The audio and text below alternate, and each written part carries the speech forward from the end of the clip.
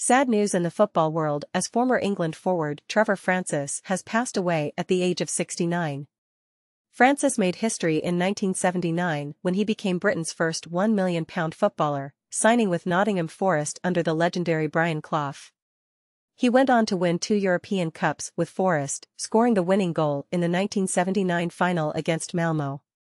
Francis also had a successful international career, earning 52 caps for England and scoring 12 goals.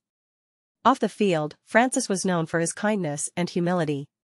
He was described as a legendary footballer and an extremely nice person by his family. Despite suffering a heart attack 11 years ago, Francis remained active and fit, taking daily power walks to stay healthy. Throughout his career, Francis played for various clubs including Birmingham City, Manchester City, Rangers, and QPR. He also had managerial stints at Sheffield Wednesday, Birmingham City, and Crystal Palace. Tributes poured in from his former clubs, teammates, and colleagues in the media. Nottingham Forest called Francis a true legend who will never be forgotten, while Birmingham City regarded him as a giant of the club. Sheffield Wednesday expressed their deep sadness and offered condolences to Francis' family and friends.